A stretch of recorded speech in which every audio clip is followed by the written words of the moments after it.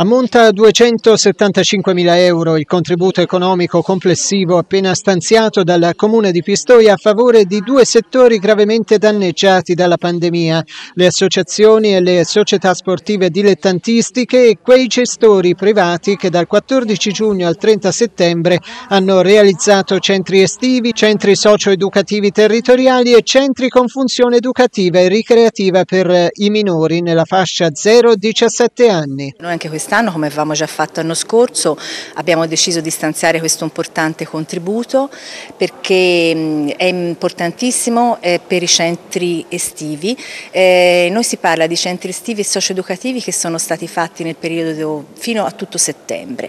Per fare questa richiesta ehm, ci sarà tempo fino alla fine dell'anno. Nello specifico per i centri estivi e per i centri socio-educativi territoriali sono stati stanziati 175 mila euro.